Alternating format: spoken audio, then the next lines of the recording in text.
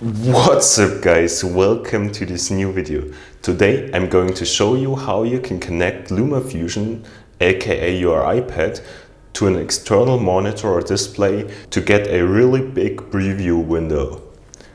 Have fun! The most important thing you need is this adapter. You can find it on Amazon for about 50 bucks. It's a lightning to HDMI adapter. Connect the adapter with your iPad and then connect the HDMI cable with the adapter. The HDMI cable has to be connected with your screen. After connecting both the adapter and the external monitor, the connection button should appear. Just press it. After pressing the button, your mirrored iPad screen should disappear and your preview window should fill the external screen. Okay, that's pretty simple. Um, you just have to buy an adapter and plug in your HDMI cable and have fun with it. So guys, don't forget to give thumbs up if you like this video and subscribe to my channel and activate the bell so you won't miss any video in future. See you next time guys. Bye.